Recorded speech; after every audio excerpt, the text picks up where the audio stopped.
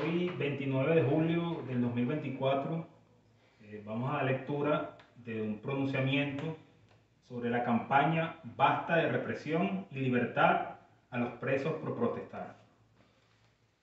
Dicho eh, pronunciamiento es un conjunto, da un inicio a una campaña contra la represión y por la libertad de los y las presos por protestar. Lo suscriben diversas organizaciones de izquierda y de lucha por la libertad de las y los trabajadores presos.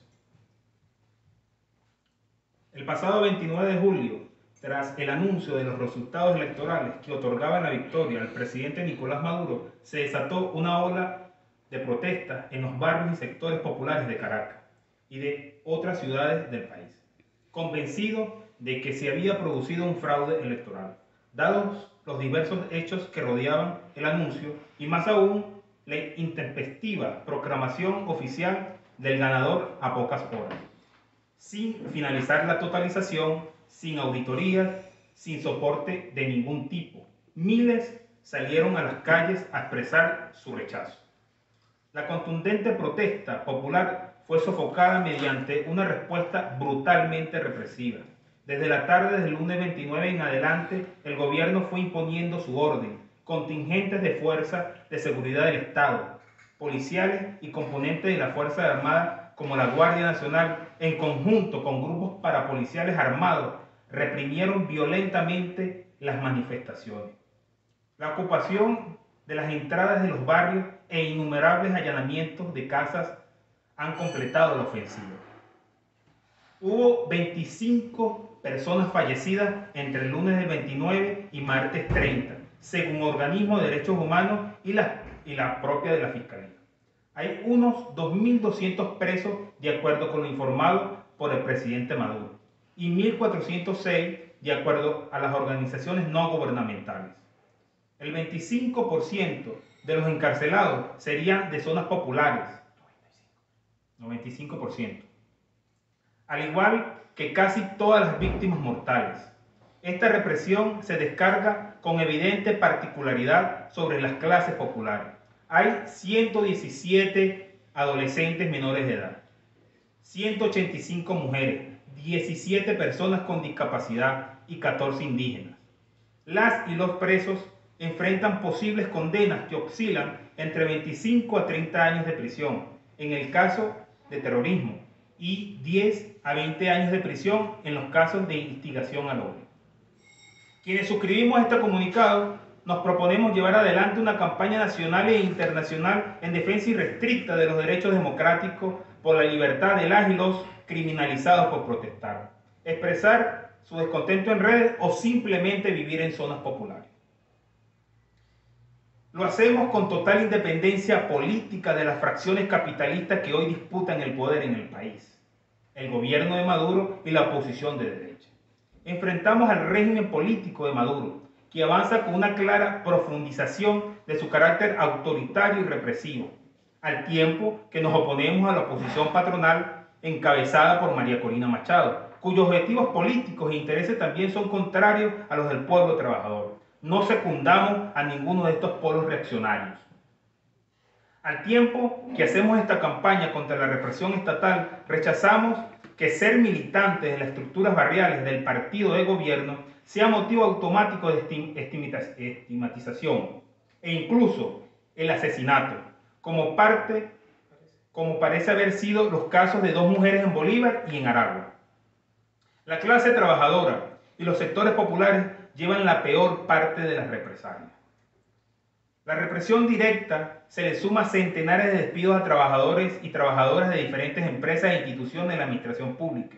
En algunos casos, tras la revisión e ilegal de sus teléfonos celulares y redes sociales. Las personas provenientes de los barrios son la inmensa mayoría de los presos, no solo por haber sido protagonistas de las protestas del 29 de julio y del 30 de julio, sino porque es allí donde se han cebado las redadas en las que agarran a cualquiera, solo por el hecho de vivir en estas zonas populares.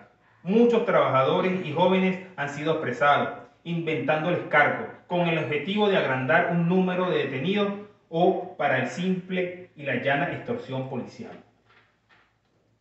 En las masivas detenciones registradas hemos podido constatar la violación de las básicas garantías de los derechos a la libertad personal, a la defensa y el debido proceso.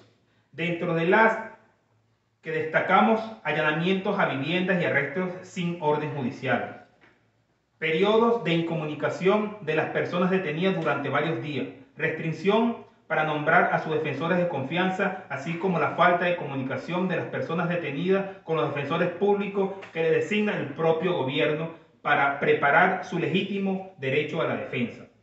Las audiencias de presentación se han llevado a cabo de manera telemática, a través de procedimientos sumarios y colectivos, sin ninguna individualización clara de las imputaciones. En la inmensa mayoría de los casos se han decretado medidas de detención preventiva, en evidente contravención con el derecho a ser juzgado en libertad establecido constitucionalmente. Estas personas, además, están siendo trasladadas a centros penitenciarios alejados de los lugares de residencia de sus familiares, lo que supone aumentar tanto su proceso de aislamiento como las dificultades para que sus redes de apoyos puedan atender y complementar sus necesidades alimentarias y o medicinas durante el tiempo en el que permanezcan bajo reclusión. En los casos de los adolescentes detenidos, se ha constatado que han permanecido en los mismos lugares de reclusión de las personas mayores de edad, violando su derecho a recibir un tratamiento diferenciado establecido legalmente. En, en estas circunstancias, los presos populares llevan la peor parte. No son, son los menos visibilizados, los anónimos y los que menos tienen recursos y posibilidades de colocar en la escena pública sus casos. La precariedad económica hace inviable sobrellevar los costos de un sistema carcelario profundamente corrompido donde hay que pagar por todo, dado el carácter clasista de la justicia y la estigmatización contra el pueblo pobre, en especial su juventud, los jueces, fiscales y custodios descargan con mayor saña sus desmanes contra él.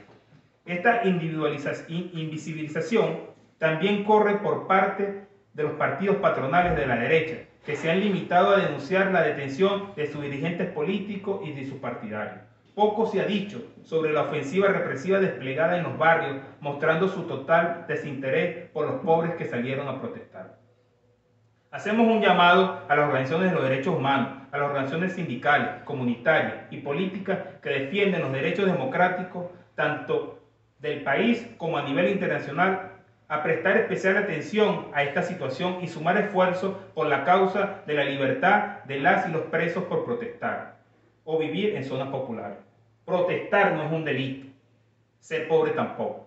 Basta de represión, libertad para los presos por protestar, la protesta popular es un derecho, reprimir es un delito. Caracas, 19 de agosto del 2024. Firman Comité de Familiares Amigos por la Libertad de los Trabajadores Presos, Patria para Todos, Alternativa Popular Revolucionaria, PPTAPR, Liga de Trabajadores por el Socialismo, LTS, Partido Socialismo y Libertad, PCL, Lucha de Clases, Marea Socialista, En Común, Partido Comunista de Venezuela, PCB, Mujeres en Lucha, Pan y Rosa, Venezuela y el Encuentro Nacional en Defensa de los Derechos del Pueblo.